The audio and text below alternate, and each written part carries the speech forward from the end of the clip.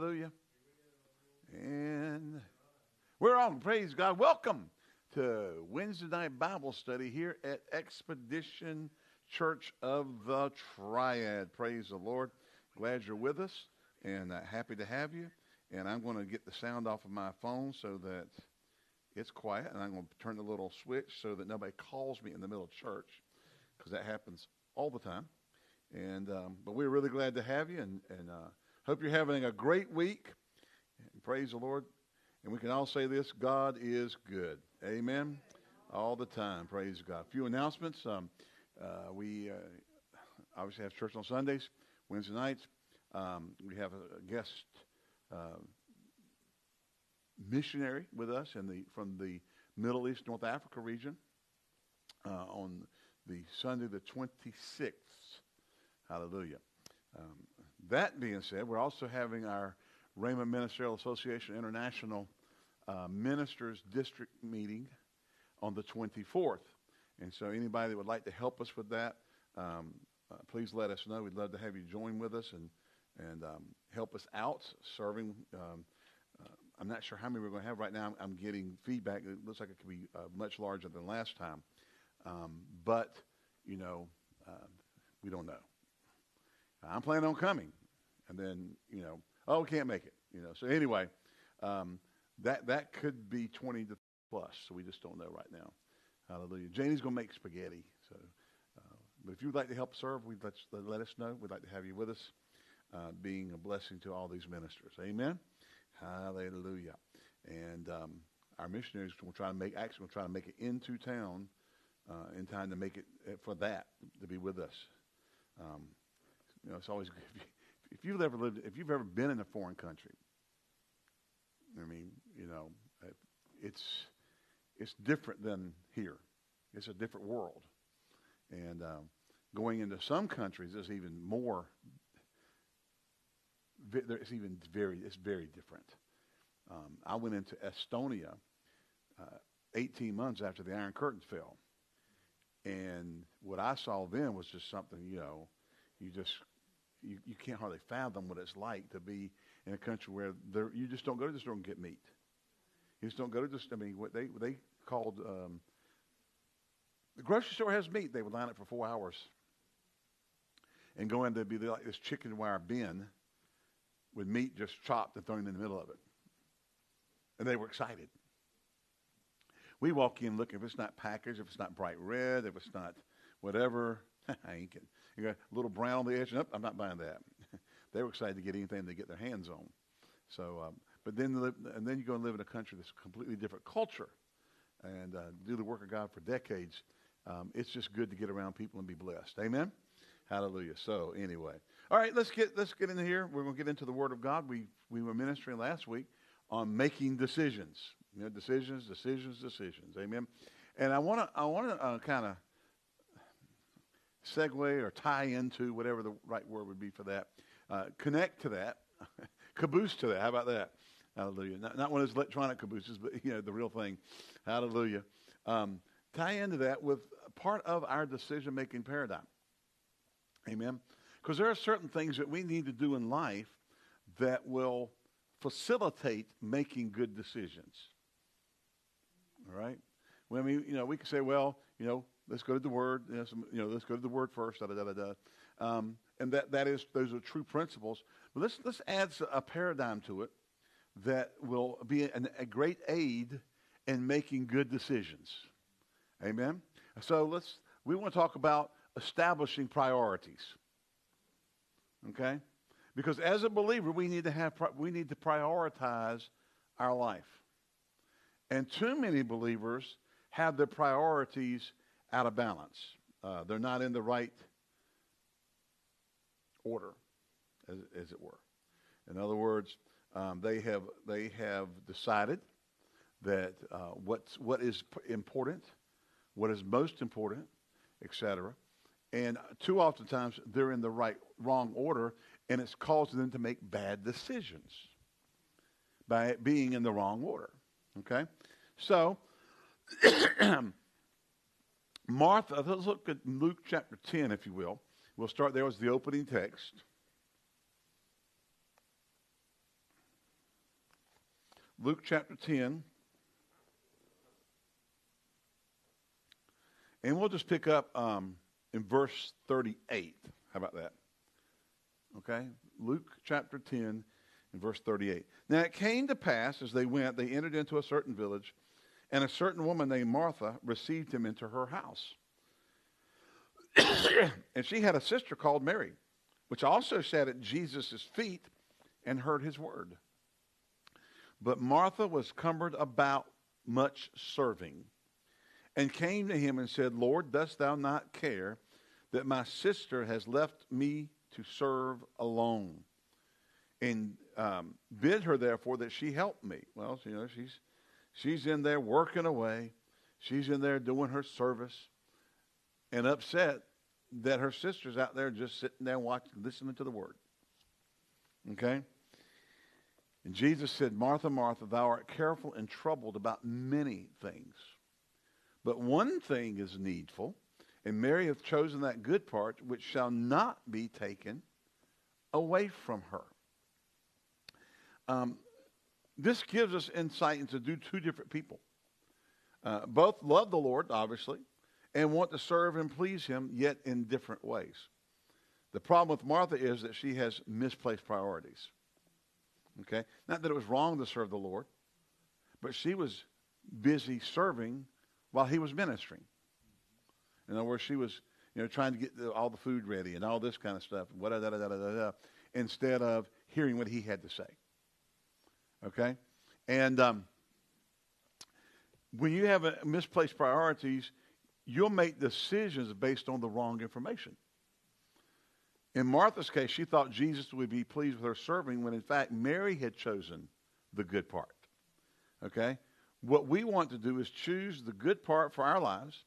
Then we'll make good decisions because that good part is based upon the word, uh, hallelujah, being first place in our lives. Amen. Okay? So, the priorities of life are, listen to this, are lifetime commitments requiring a quality decision. Now, Brother Copeland used to talk about quality decisions. He used to teach a series on quality decisions. And a quality of decisions is a decision that you make and don't turn back on. Okay?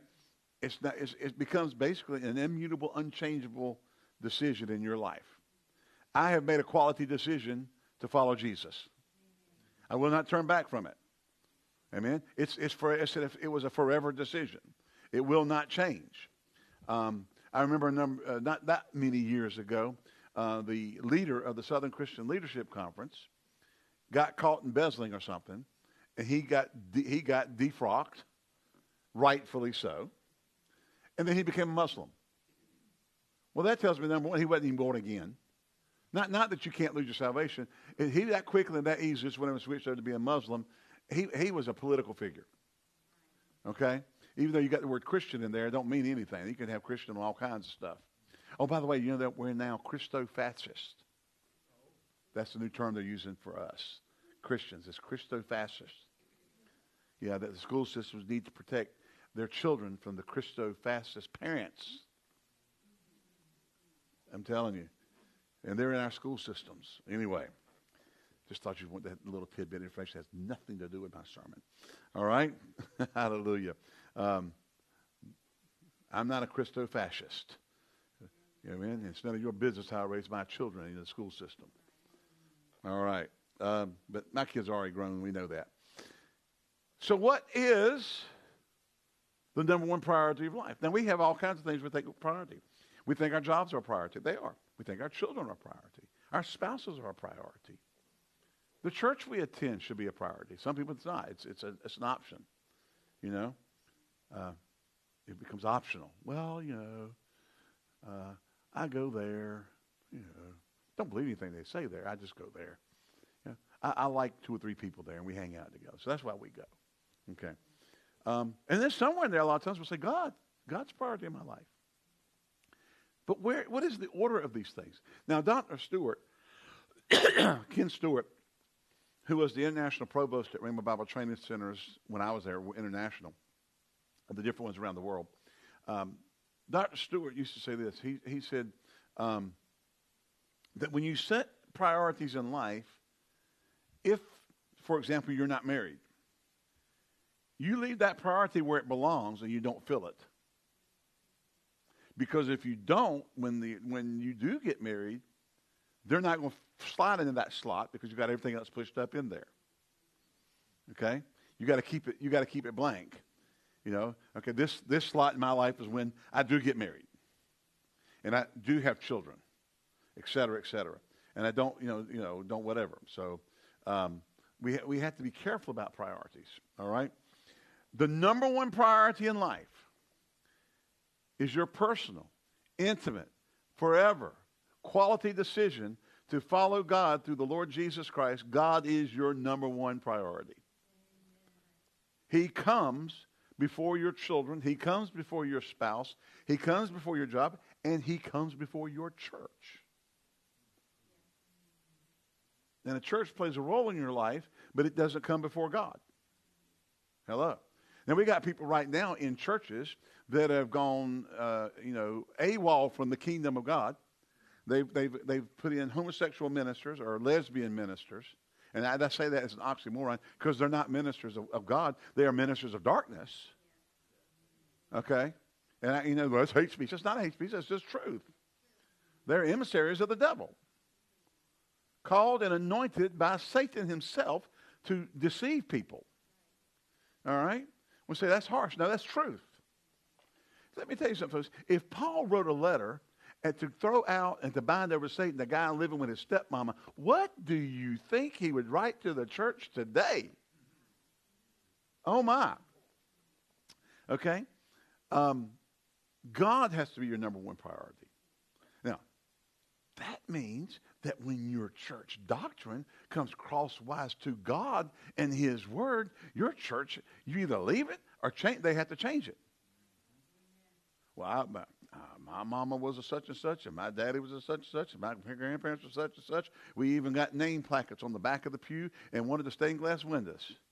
Well, I tell you what, go get a screwdriver and take the name placard off and uh, order a replacement pane for the stained glass window and take them with you and go somewhere else if, they if they're not teaching truth anymore. If they violate the Word of God. All right? Now, Exodus 20, and we're not going to read all 132, but one of, the, one of the verses in there says this God spake these words, saying, I am the Lord thy God, which has brought thee out of the land of Egypt, out of the house of bondage. Thou shalt have no other gods before me. Now, there are people, and, and here, and you got to understand how I say this. You know, there is nothing wrong with golf. We've got an avid golfer here. Man loves to play golf. Don't know when the last time you played. Been a while. But Jerry likes to play golf. And I'll ride by on Sunday mornings, and the golf course is full of people playing golf. What were they doing Saturday? What are they doing Sunday afternoon? You know? Well, I got to get out there and relax. So, see, you put the golf before God, then golf becomes your God. Now, I'm not saying that once in every whatever you go and do something uh, recreational on Sunday instead of being in church. You're not bound to every Sunday for the rest of your, every single service forever. That's not what I'm talking about. But you know, we have golf every. Uh, I can't go to church. I have tea time every Sunday at nine o'clock, and we ain't talking about one lumps two. Okay, with with with uh, biscuits, hot tea and biscuits, which is cookies. Got to have your tea and biscuits. Hallelujah. The Brits love their tea and they love their cookies. And their cookies are good. And their tea. The English breakfast tea I got in England was good. They even put it over ice for me. You know, that's sacrilegious to a, to a Brit, but they, they like the Yanks, so they, they put it over ice for me. Hallelujah. And I sweetened it up before they did. You know, put a lot of sugar in it, got it sweetened. In, yeah, all right anything that you place in a higher priority than God becomes a God. Okay? You can't place anything beyond its place in your life above God. He has to be number one. Why? He is your God. He is your Lord. He is your God. He is your He is everything in your life. And by having Him number one, other things can fall into place, and you'll be more successful at all your other priorities of life by having Him number one. Amen. Now, there's people who disagree with that, don't like that. That's because God's not their number one priority. Now, people tell me all the time, uh, you don't look 64. And um, I'm, th- I'm thinking, th- I don't. I think I look 64. Anyway, they don't think I look 64. I get people at work going, you know, one guy, you know, he, he looked older than me, and he was saying something about that I had all my hair, and he doesn't have all his. He said, but you know, um, I'm, I'm older than him. I said, how old are you? He said, 54. I said, I'm 64. Okay? And but see, people they say, man, you know, you talk about genes, genetics, or whatever, and think, no, it's the life of God. I got relatives that look 10 years older than me easier, and they're 10 years younger. Why? Well, God in my life, His life in me, His nature in me. It renews me. Amen. Keeps me younger. Glory to God. Didn't say I won't get old, but it just keeps me younger while I'm getting there. Hallelujah. Psalm 119, 164 says, Seven times a day do I praise thee because of thy righteous judgments. Uh, Psalm 27, 8, When thou saidst, Seek ye my face, my heart said unto thee, Thy face, Lord, I will seek. Hallelujah. Psalm 63, 1 through 3. O God, thou art my God. Early will I seek thee. My soul thirsteth for thee. My flesh longeth for thee in a dry and thirsty land where no water is, to see thy power and thy glo- glory. So as I have seen thee in the sanctuary, because thy loving kindness is better than life, my lips shall praise thee. Amen. So Matthew 22, 36 through 38. Master, which is the great commandment in the law? And Jesus said unto him, To love the Lord thy God with all thy heart, thy soul, and thy mind. This is the first and great commandment. Amen. In John 21, 15 through 17 says, So when they dined, Jesus said to Simon Peter, Simon, son of Joseph, Jonas, lovest thou me more than the, me more than these? He said unto him, Yea, Lord, thou knowest that I love thee. Um, he saith unto him, Feed my lambs. He saith again to him, What did do? I turned it off and the sound came out anyway. Um, love, Simon, love, son of Judas, lovest thou me? He said unto him, Yea, Lord, thou knowest that I love thee. He saith unto him, Feed my sheep. He saith unto him the third time, Simon, son of Jonas, lovest thou me? Peter was grieved because he said unto him the third time, Lovest thou me? And he said unto him, Lord, thou knowest all things. Thou knowest I love thee. And Jesus said, Feed my lambs or my sheep. Now, what's he talking about here? If you love God, you're going to obey God. Okay? Too often in the church, what we have done is we've turned Jesus and the gospel message as in the fire escape from hell we commit enough not to go to hell. But we're not putting Him first in our life, and that's because we love Him the most. Okay? We have to love God more than anything else. More than sleep, more than TV, more than vacations, more than recreation. You know, recreation is, is recreation. All right? We, we, well, how do we really recreate? We get with God. The best way for recreation. Now, listen, don't, don't, do not go off the deep end with this. I am not talking about Pastor Ed said we can't go on vacation. He said we can't go have any fun. We can't go to a theme park. We can't do anything. Just get in the closet and pray 24 7. If you're a real Christian, that's all you do. Shut up. She went away.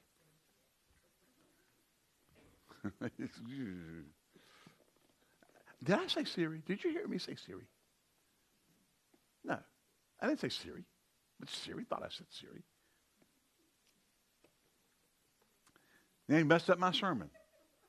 So where was I when, when Siri interrupted me so rudely? Yeah. Right. That's not that's not putting God first is never to do anything. You are natural. You have natural needs. You need to eat. I'm not going to eat because I got to serve God. Well, you, you, you will be with him very, very soon. Okay? You keep that up. That is not the point that's being made. It is in your, the priorities of life, he is elevated to number one. Now, if he's number one priority, that means there are other priorities. Okay?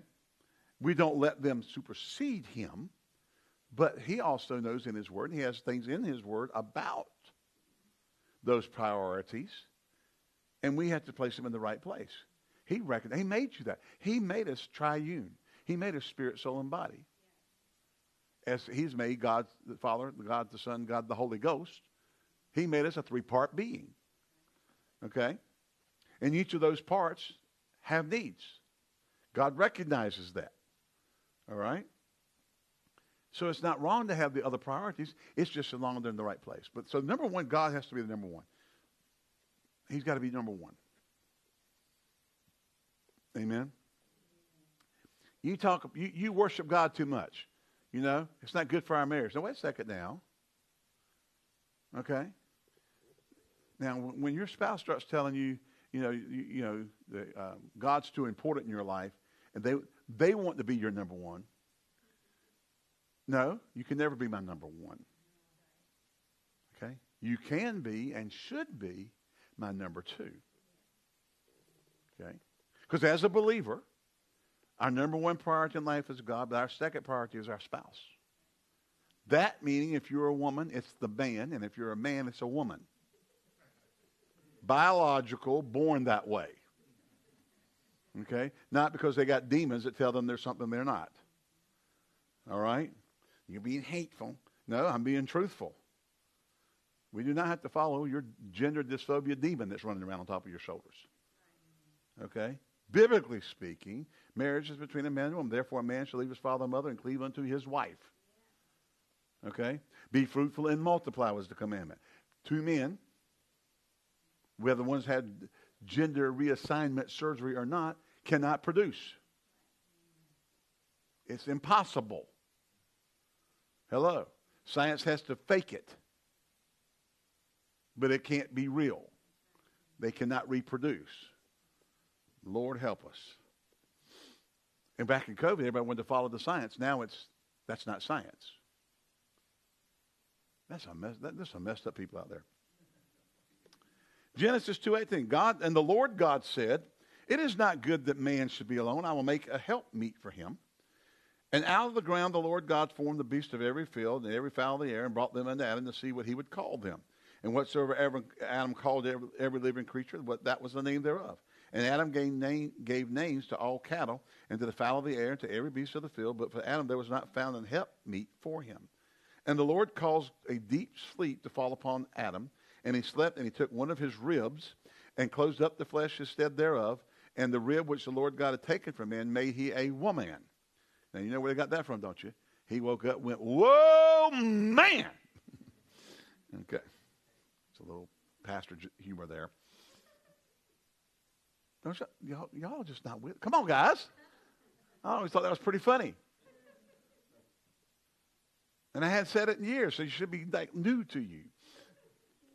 All right? Um, made a woman and brought her into a man. And then Adam said, This is now bone of my bone and flesh of my flesh. She should be called woman because she was taken out of man.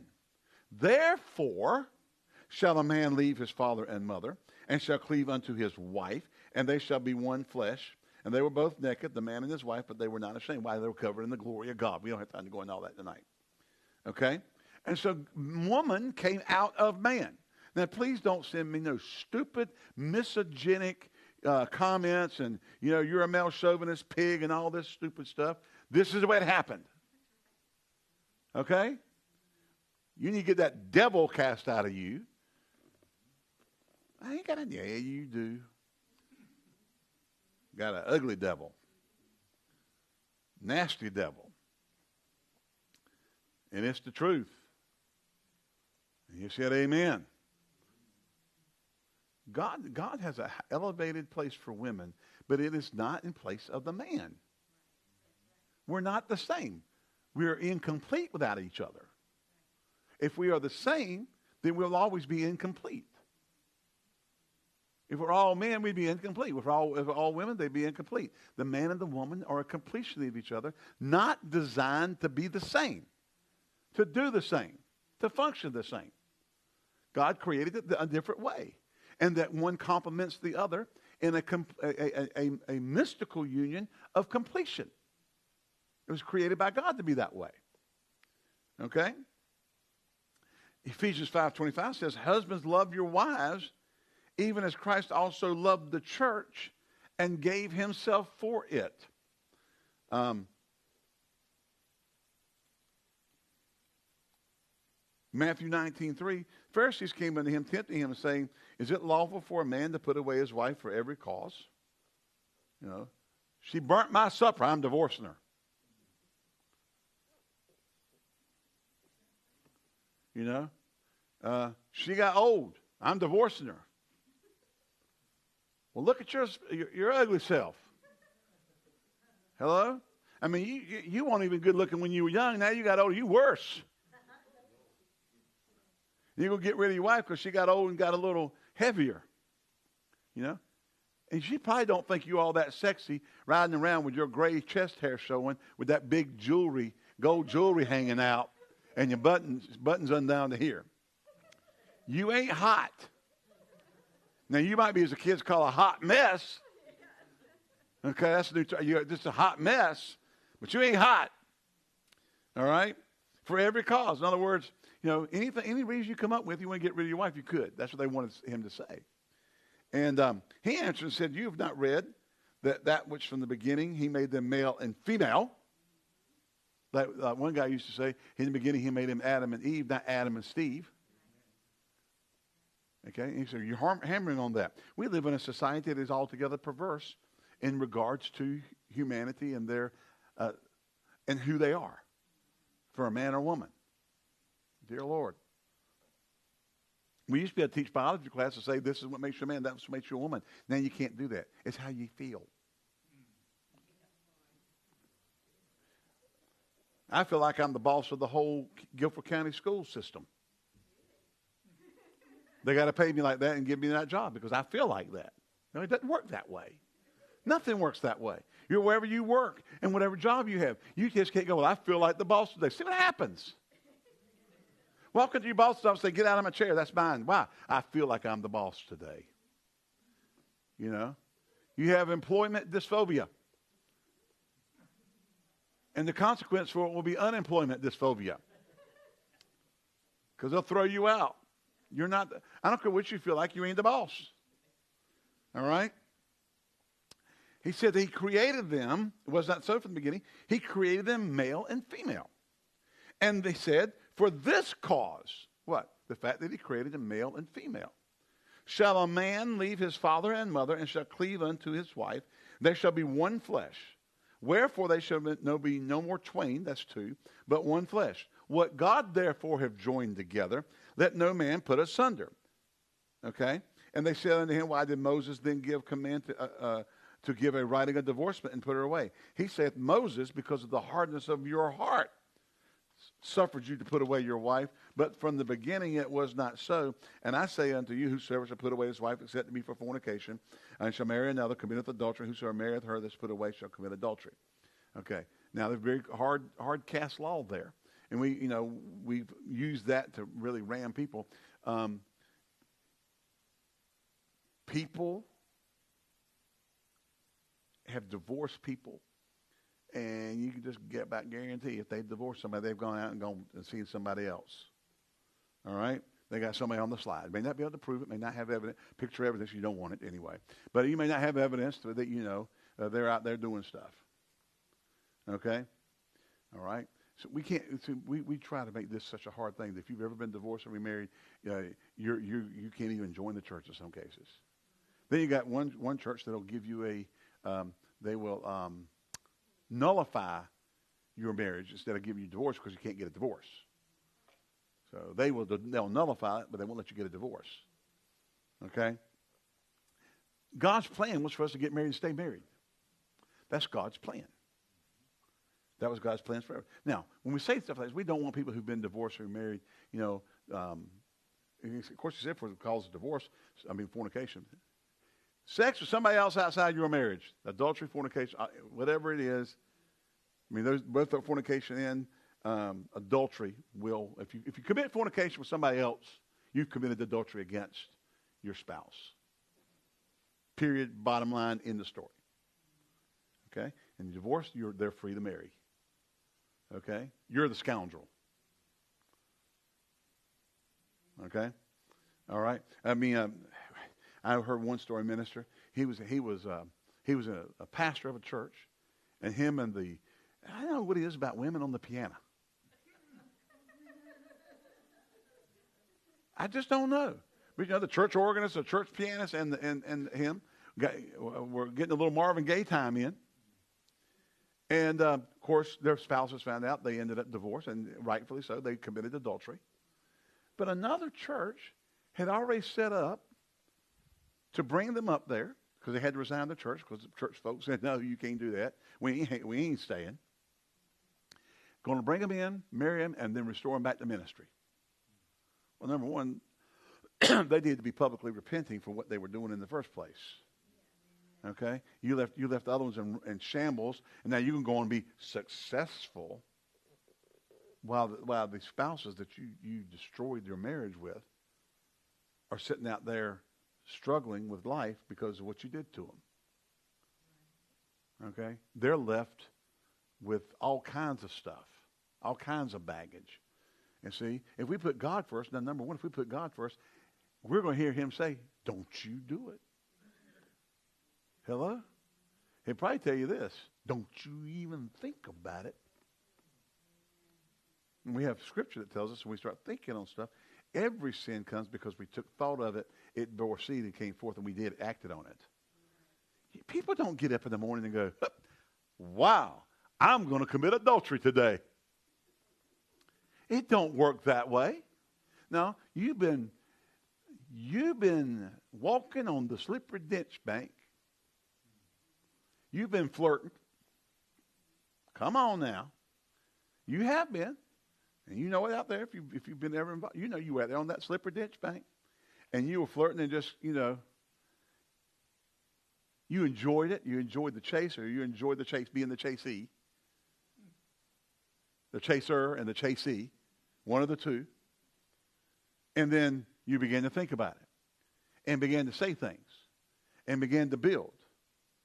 And boom. Okay?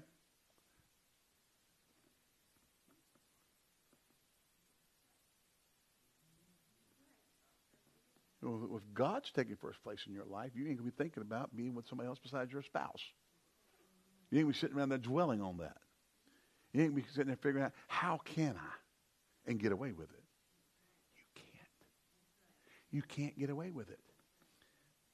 Well, my wife, has, I've been going through this for three years, and she never. It don't matter if she knew or not. He does. He's aware. That that glass house you're living in is going to crumble. Amen. The windows are going to get knocked out, and you better hope she don't have a knife when they do. Like my wife told me, she said, "You ever cheat on me, I'll kill you." I still sleep with one eye. No, I'm teasing. Don't have to because I never cheated on her. Ain't going to.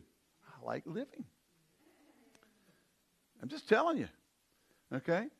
So uh, God's number one, your spouse is number two. And let me say this if you really love your spouse the right way, she, you, you wouldn't do anything to hurt her. Okay?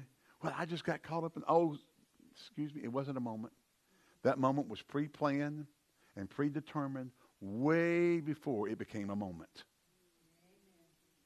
Okay? There's just laws of seed time and harvest. That's the way things work.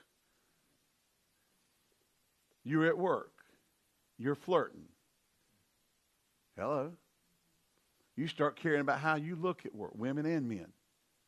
Go where, you know, you come home and you look like uh, you, just came out from slopping the hogs. You go to work and you're going to be put on the cover of GQ magazine. Hello? Women come home from work.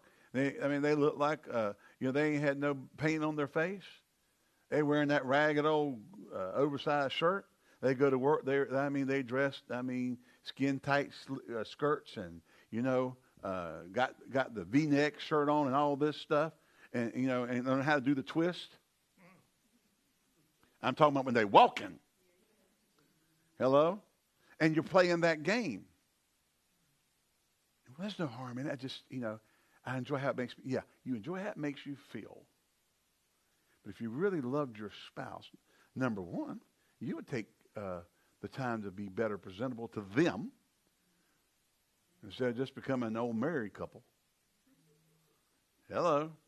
You would care. So you got to give them a priority in your life as your spouse. You got to love them. Husbands and wives. Men, you just can't be some slob. You know? You want your wife to, you know, look all sweet and pretty and all that kind of stuff. And you come in with, with, with your T-shirt up to here and your belly hanging out and you Are you here? And you got on, you know, got, uh, shorts that are slick from, they weren't slick when you bought them. They've rubbed all the fibers off. They're barely hanging on. Hello get up out of bed, your hair looks like, you know, you, you, you went through a tornado. hey, baby, you want, you want to flirt. She, you she, like, look at you thinking, you never showed up at my house looking like that when we were dating. Hello? No. If, you, if you're going to put, have them as a priority, a priority, they're not your roommate. Hello? They're not your side piece. They're your spouse. Therefore, they have a prioritized place in your life, and it is the number two spot in your priority list. Not your grandchildren, your children, the dog, anything else. They're the number two priority in your life. God is your number one. Your spouse is your number two. Well, you just don't understand. No, no, no, no, no. There is no understanding. They are your number two priority. Because if you don't have that right, forget keeping the children intact. Hello? So, God's first, spouse is second. God intended for your marriage to be a God based marriage. Now, Dick and Ellie have been married along with anybody in here, I think. How long y'all been married? 50? 49. So you're three years behind them. Okay. Janie and I hit 42 this year. Anybody else longer than those three? Okay. So we got we got three 40 plus years marriage in here right now. It ain't because we just are special. It's because God's first and then they were second. And we kept those priorities in order. We kept them in the right place. We based it on a Christian principle. Amen. When failure tried to present itself in our lives, we didn't accept the failure. Wow. See, if God's number one in your life, when the challenges come up in marriage, then we go back to God and follow Him, which will lead us to do the right thing in our marriage. Amen. And I can tell you, someone else getting involved ain't that. That's not what he plans. That's not part of his plan. I mean, like, like that bozo said one time in our church. I mean, I had, I had to correct it after they left. I said, okay, I can't let that sit out there. That Bathsheba was God's will for David. How do you know? Solomon. Ooh. So David had made, I mean, uh, Bathsheba had a lifetime commitment with Mordecai. Not Mordecai. What was that name, Mordecai? What was his name? I forgot his name. Her husband. Uriah. Uriah. Thank you. Thank you. We just covered it. Uriah. Uriah, Mordecai was somebody else. It was, here's another story. Okay. Uriah. God's not going to take a committed husband. Then this man's so committed to different things, he won't violate his honor. So we know he's a good man. Okay? God's, God's not going to break that marriage up by murder. Now you make a God a co-conspirator in conspiracy to commit murder, murder, a cover-up, because Bathsheba was God's plan for David all along. That's the biggest pot of goobity gawk I've ever heard. Come out supposed to be Christian teaching. I'm sorry. So whenever they said that, I got next service and said, I'm sorry. I knew I had to correct it because the whole church was waiting for something to be said. And the only reason I didn't do it in person was because I didn't want to absolutely annihilate the guy in front of everybody. You know, I, heard, I got that from Brother Hagin. We just sent them on down the road, blessed them, and they never came back. Hallelujah. um, when you have God as your number one and your spouse is your number two, okay? So your marriage relationship will now be governed by God. You'll make decisions about your marriage, about how you act and treat and do towards your spouse based on what the word says because you want to honor God and you want to honor God in your marriage. Okay? Now, after the spouse comes the children. They do not come before your spouse. Because if you do, they're out of order and you'll make bad decisions. You'll make decisions in regards to the priority of your spouse that will be wrong because you've elevated your children above your spouse. Okay? Can't do it. They can't come, become a higher priority than your spouse. Okay? Well, the kids have got to be here, and the kids have got to be there, and the kids have got to do this, and the kids got to do that, and they got ha- they're involved in this, and they're involved in that, and all of a sudden you don't have any time for your spouse. Then there's too much going on with the kids. You've placed too much priority on the kids being happy, the kids doing everything on the planet that can be done. And listen, we, we were we had to we had to not fall into that same trap. Okay? And we refused to fall into it because we knew the dangers of it. It's easy to do. There's so much pressure out there for your kids to play this ball and for your kids to do that and your kids to do this and your and you got to give them you can't not deny them anything they want. Okay?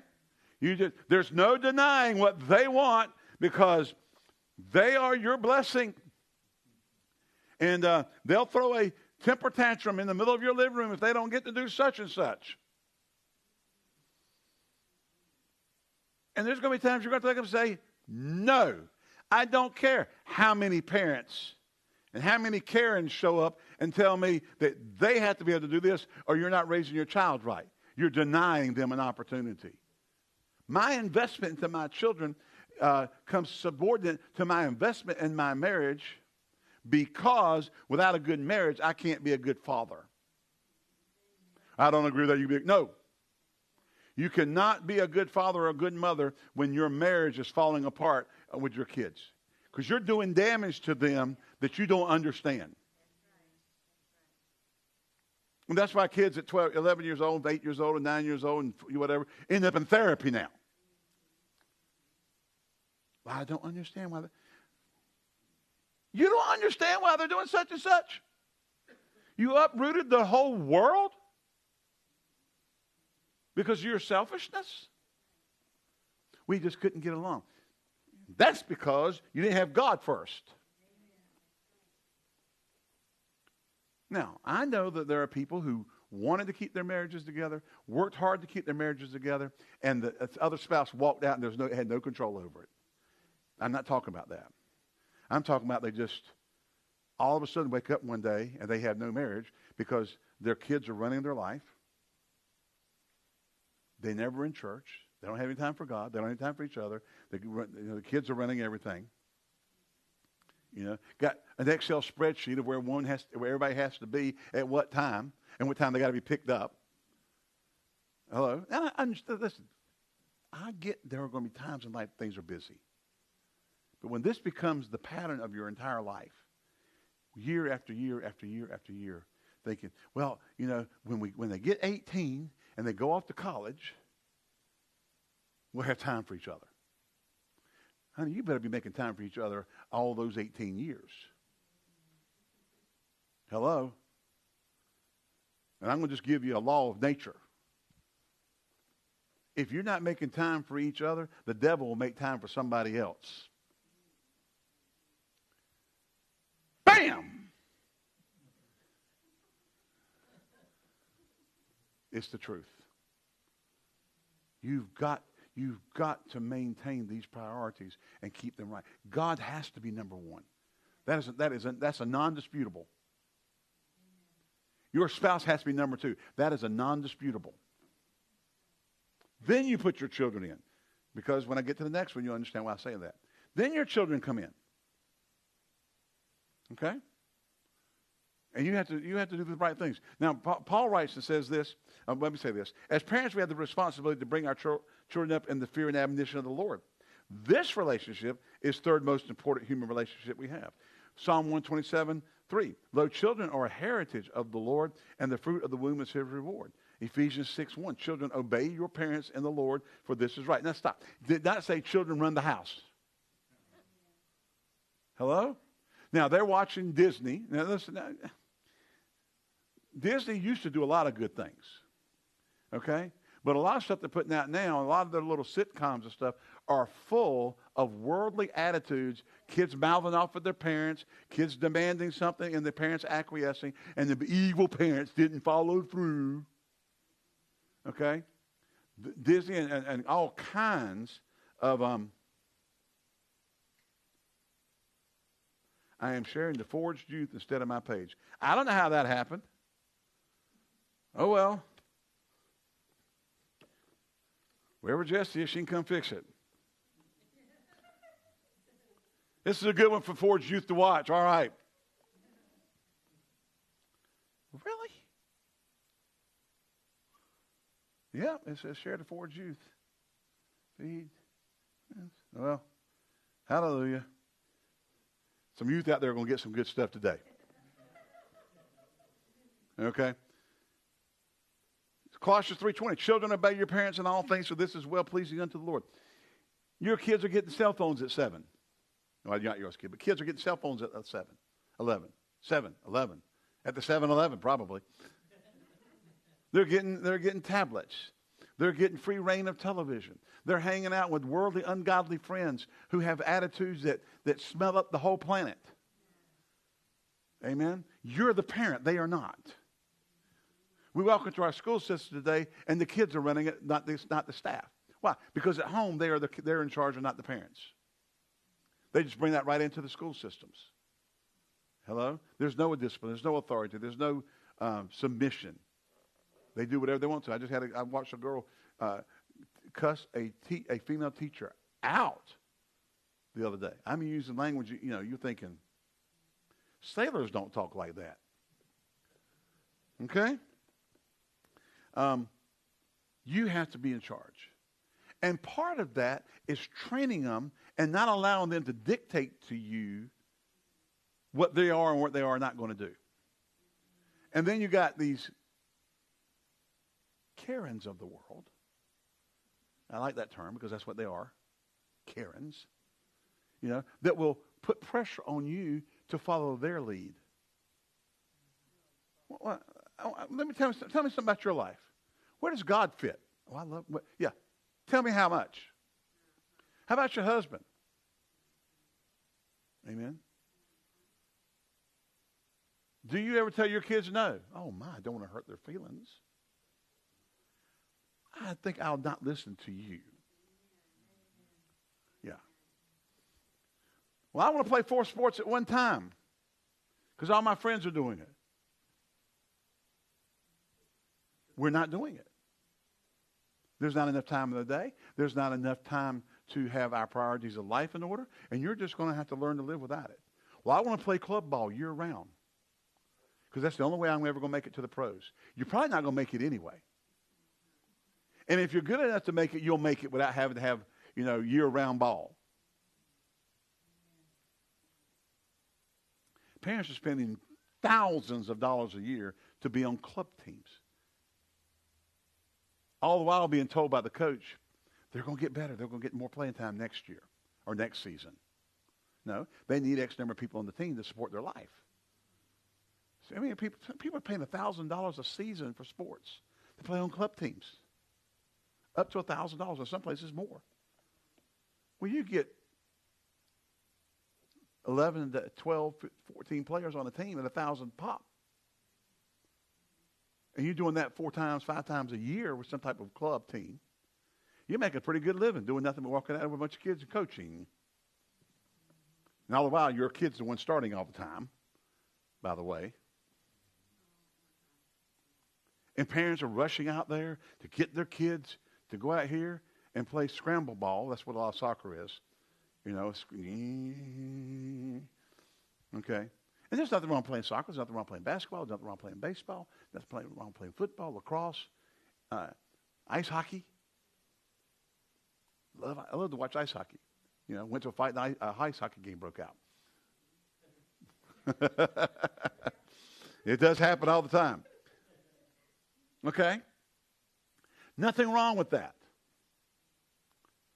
But when that, that becomes more important than anything I y'all do in life, that all y'all do year round, and there's no time, there's no rest time, there's no break time, there's no time for y'all to stop and it be about you and your husband being good parents with your kids, doing th- family things together being an example before them letting them see mom and dad love each other and they're important to each other and their life is that way and the kids get them who's going to model marriage to your kids if you don't? Hello how, do you, how are you going to teach them to be a good father or a good mother if you don't amen and being a good father and being a good mother does not mean you give them everything they want just because they had the whim for it Okay? Genesis 18, 19. For I know him, referring to Abraham, that he will command his children, his household after him. And they shall keep the way of the Lord to do justice and judgment. And the Lord may bring upon Abraham that which is spoken of him. And the Lord said, Because the cry of Sodom and Gomorrah is great, and because their sin is very grievous. Now, this is God, you know, getting ready to wipe out Sodom and Gomorrah. But he said Abraham would command his children after him. So they become they come after your spouse. They, now they, we're at God, we're at marriage, husband, wife. Now we're to children. Those are three priorities of life. You can't get them out of order. Okay? Um, let's move along because I'm, I'm kind of wrap this. It's, it's not a real, real long, long one. And there's a lot, I got a lot of scripts about raising children, but we're not going to get that deep into that tonight. The number four, you may think it's wrong, but listen to me here. The number four priority of life is your church. Where does my job fall? Later.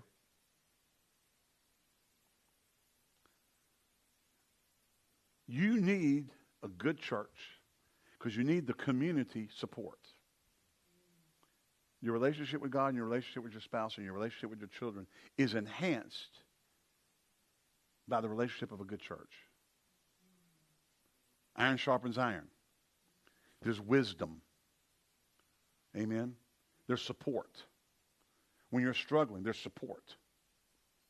When you're not really sure what to do, there's older women who can say, listen, here's how you balance this in your life. We've been down that road. We know what you got to do.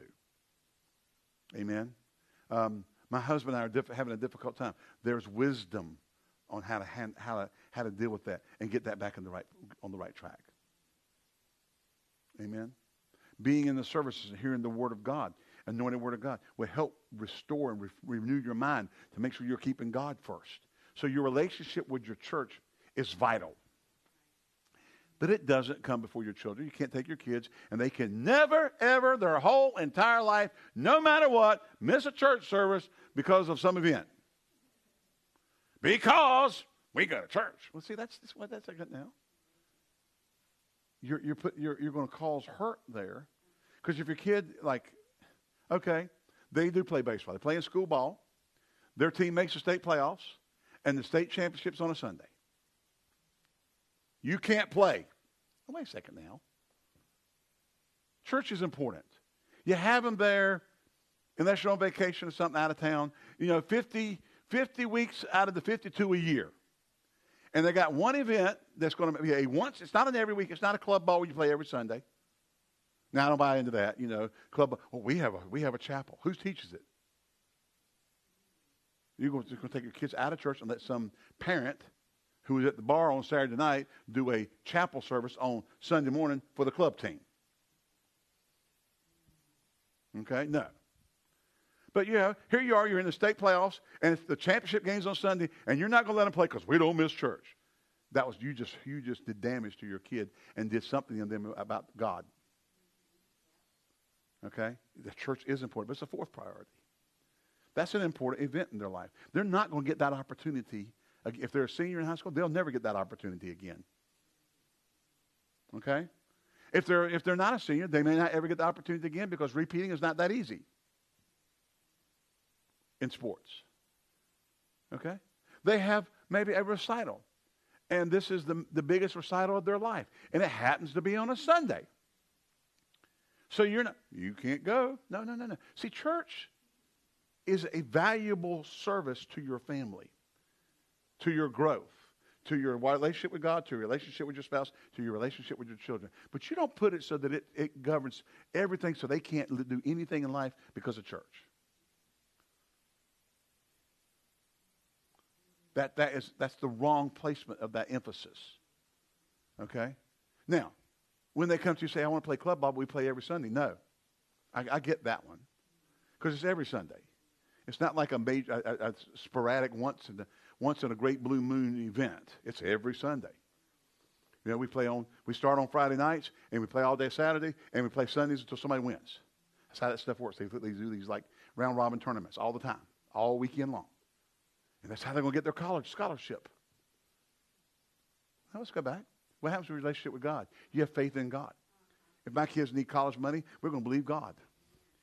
I'm not going to spend $200,000 trying to get a scholarship for a sport to get a scholarship so they don't have to pay for college. I've already paid for it. Hello? And lost a lot of time in the process. Okay, so here, uh, here both sides of this, this is why we're talking about priorities. We place them in the right place. We don't overemphasize one to the point that it becomes a higher priority. So we don't overemphasize church to the place it becomes so much more of a priority than your children that your children aren't allowed to have life because they cannot miss church ever. We don't miss church ever. There's going to be times you need to. Are you here? There's going to be times that it's needful. So, why? Because you also need to teach your kids that God cares about what they do in life, and they cares about the things that you know that that are important to them. And He will understand if you missed a service to play in the once in a lifetime state championship. He understands that, or to play in a recital that you'll never get a chance to do. Maybe uh, your kids are playing instruments, and they're first or second chair in the you know the orchestra and they're going to get to play at the Tanger Center. You know, a, you know, it, it's just it's like one of these major opportunities that they may not ever get again, but it's Sunday morning, and you hate to tell the pastor because you know he's going to say you need to be in church. If you come to me and say that's what's going on, I'm going to tell you go have fun, take pictures. I want to see them. Are you here? Because we want them to understand that your family has priorities and that their, their involvement in things, now they're not superseding everything else, but when properly placed, this is an important thing, this is an important event. They've earned the right to do this. And why are you going to deny them by elevating church above their position? We don't. Okay? We realize that church is a valuable and high priority. It just, you know, I've, I've met women they're ministers. Their husbands are unsaved. And they're always running around ministering somewhere, going to church somewhere, and leaving their husbands at home all the time. They put church above their husbands.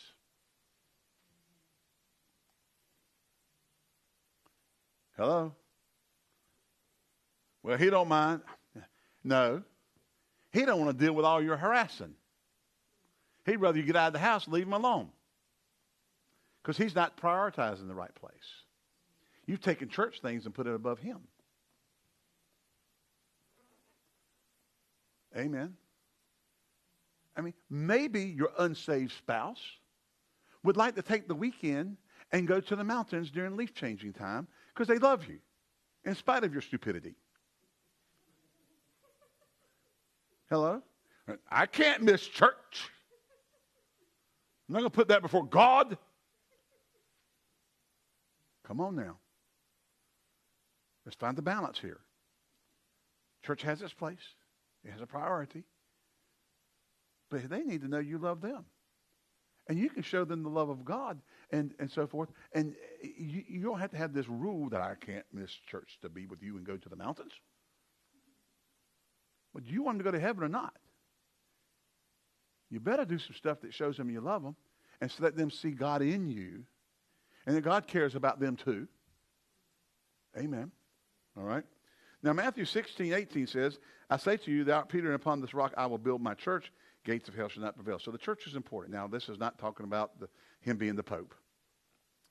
Okay? We, we, don't, we don't need to get on all the Greek on that one tonight. Um, Acts 7.38, this is, uh, this is he that was in the church in the wilderness with the angel and spake to him in the Mount Sinai and with our fathers who received the lively oracles to give unto us. Acts 11:22. These tidings of these things came into the ears of the church, which was in Jerusalem. They sent forth Barnabas that he should go for as far as Antioch. Uh, Acts 1, 11, 26. And when he found them, he brought them into Antioch. It came to pass when the whole year they assembled themselves with the church and taught much people. And I got into about another 20 verses. I'm not going to read them. The, you know, the church is our fourth priority of life. Okay? Let me get, let me get number five. We're going to close here. I'm, I'm highlighting this. I'm not running real deep on them. I just want to give you something to think about. Okay? Number five is your job, your employment. You will be a better employee if you are satisfied with your walk. You are in, walking in a the right place with God. You're walking in the right place with your marriage. You're walking in the right place with your kids, and walking in the right place with your church. You will be a better employee, a more effective employee, and a, a longer lasting employee. You do need to work. The hand of the sluggard. You know, there's a lot the Bible has to say about it. Um, okay? You know, Ephesians 6, 5. Servants, be obedient to those who are your ma- masters, giving respect to them, and eager concern to please them in singleness of motive and with your heart as service to Christ. Okay? And we're not going to read all these scriptures.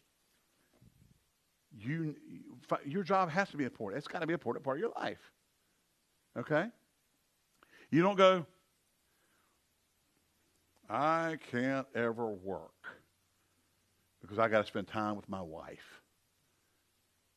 If you start missing uh, work because your kids have 65 ball games this week, you're not going to have a job. Okay? Now, you can't take your job and never be there for your kids. My daddy's never been at anything I've ever done while he was working. Okay? Then you got a priority misplaced because you got to be there for your kids. Your wife never sees you because you're working. Who you think's going to pay the bills? Come on, man. You, you're supposed to be the leader of faith. You're supposed to be trusting God. You're supposed to be believing God. Amen. You're to be the spiritual leader in the house, and you're going to go out and work, you know, work and work and work and work and work, uh, so that your wife can run up down the road with the kids. Everything's out of whack. You can't ever do anything. You can't be. You can't ever see your wife. Can't ever be with your kids. Can't ever be in church. Can't ever do anything because you're working. See, work's out of priority. Okay? You get it to pri- Listen, let me say this. Success cannot be the controller of your priorities.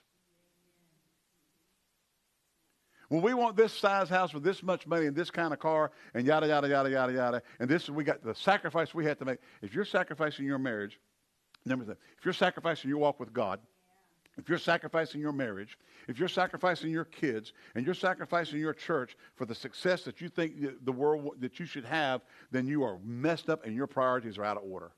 And then we tell you something: it's a house of cards, and it's all going to crumble. You're going to wake up one day and your kids aren't going to know you. Your wife is going to be gone. You won't even know who God is, and you don't even know, you ain't been in church for so long you don't even know what one looks like. Hello? Okay? You might have to modify your lifestyle.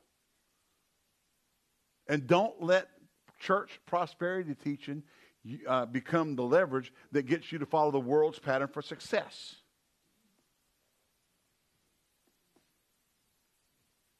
Well, I want to have, you know, uh, a Lamborghini, and I want to have a house on the Riviera. And God don't mind if I pro-. no, He doesn't. He doesn't mind if you prosper, but He minds if it costs you your walk with Him, with your spouse, with your children, and with your church, because it's out of priority.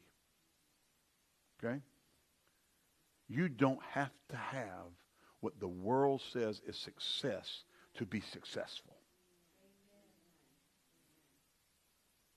Amen. Jesus told us don't store your treasures up here on the earth, but store them up into heaven. He says, because here on the earth, moth doth enter in and rust and corrupts. Store your treasures in heaven.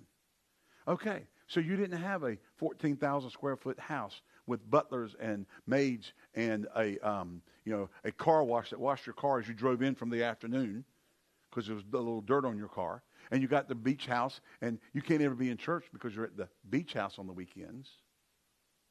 And you got all these things that you can run with certain people and wear, you know, $5,000 suits with handcrafted shoes, and you're successful.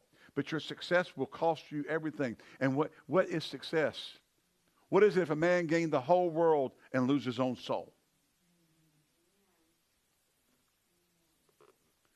Now, there are people still watching out there. Same number that joined us at the beginning, they're still there. Thank you. Don't let the world tell you what success. Let me tell you something.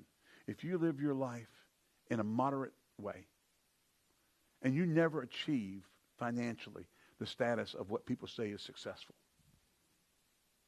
and you bring your children up in the fear and admonition of the Lord, and you stay married to your spouse, and your great your grandchildren, your great grandchildren all come home to see you, and you're in your 70s and 80s and even into your 90s as you have long life because you serve God. And you never had a quarter of a million dollar sports car. And you didn't have a house in such and such neighborhood. I see, well, you're unbelief. I'm going to have all. I'm, they that would be rich have pierced themselves through with many sorrows. What's it mean? If all you can think about is being rich and having success, you will pierce yourself through many sorrows. Now, let me give you an example. We all know the Kennedys. It's even so bad they call it the Kennedy family curse. Death after death after death. But he was rich. Joe Kennedy was rich. I guess his name was Joe. Isn't that who it was? Joe Kennedy. Got his money bootlegging during Prohibition. Put it into a trust. The whole family's lived off that trust all these years. They got cousins that are rapists. They got kids that have been killed. I mean, they had one that went skiing and got killed. He ran into a tree and got killed, broke his neck, killed. John Jr. crashed his plane. The daughter had a, uh, had had a mental disorder. They tried to give her a, a lobotomy and made her. She, put, she lived in an institution the rest of her life. John was assassinated. Robert was assassinated. Edward was a womanizing murderer. Okay? But they had money they had success. But what good does it do you to gain the whole world and lose your soul? And it has gone on and on and on and on and on. And they all go into politics, and they all are just, you know, it's, it's, it's, it's just sad. It's sad. And here you are. And the world presents that as such a lovely lifestyle. I don't want my kids dead. I don't want to have everything in my life to end up in death every time you turn around. I know I don't have an estate, and I live off of the estate and the income it generates. I live in this house that's worth millions, but I don't have to pay any taxes because it's, it's in a tax-free estate or a, it's in a trust. And I just get, you know, we live off the interest from the trust. Hello? And I don't have what the world calls success. But I love my wife.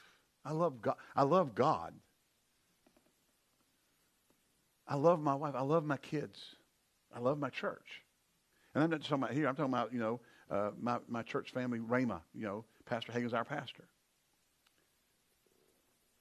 And I love my job, preaching. Okay? If I lived to the 90s, hundreds, whatever, and I have all of that, when I leave and go to heaven, I will have been successful.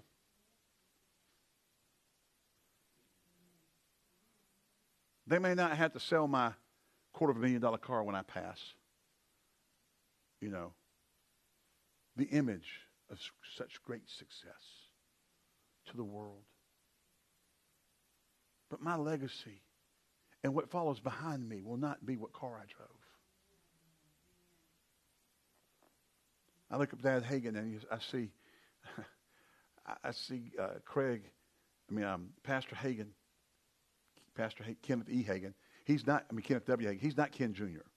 They called him that only to separate him from Dad Hagin because Brother Hagin was Kenneth E. Hagin. Pastor Hagin is Kenneth E. Hagin. But while he was alive, they called him Ken Jr.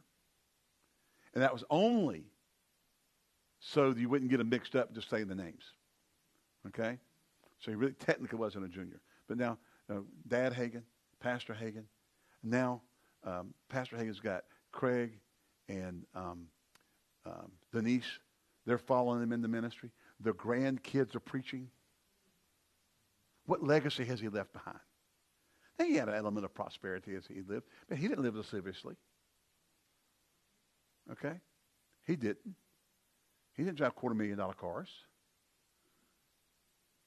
Okay? But what legacy has he left behind? It's a spiritual legacy. And he's got his kids, his grandkids, his great grandkids are following. So who's more successful? The guy who died and left nothing behind but, but ash and destruction and misery for their lives, for their families' lives, and for everything they touched. Their name is well known as the Kennedys or the Hagins who've left this legacy behind. Who's more successful? Well, this one had money, yeah, but that don't mean nothing. Because let me tell you something. You can't take it with you.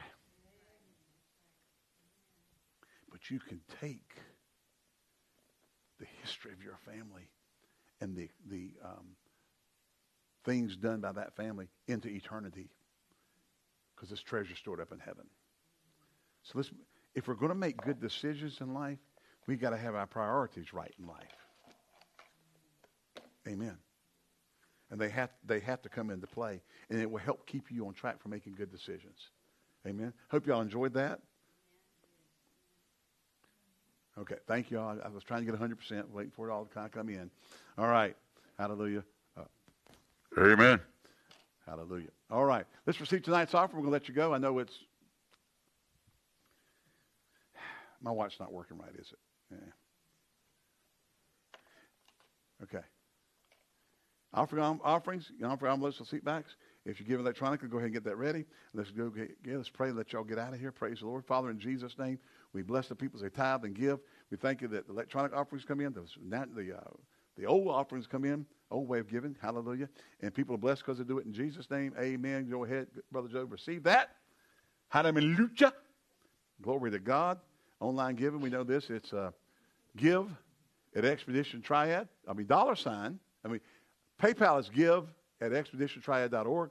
Pay, uh, Cash App is dollar sign Expedition Triad. Okay?